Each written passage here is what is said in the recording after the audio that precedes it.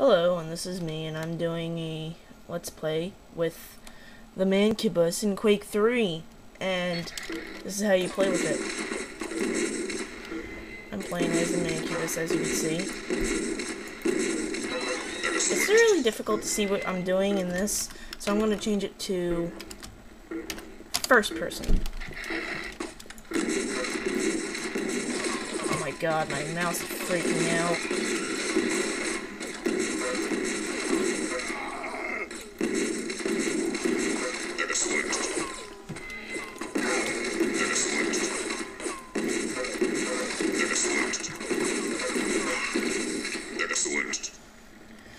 So yeah, you just walk through here.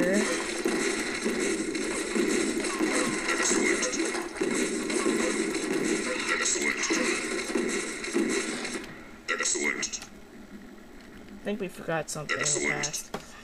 So yeah, they walk really slow. Oh, then we got away. Excellent. Excellent. Excellent. Excellent. 34. Excellent. I'm playing Skulltag, baby. And that's the end of the level.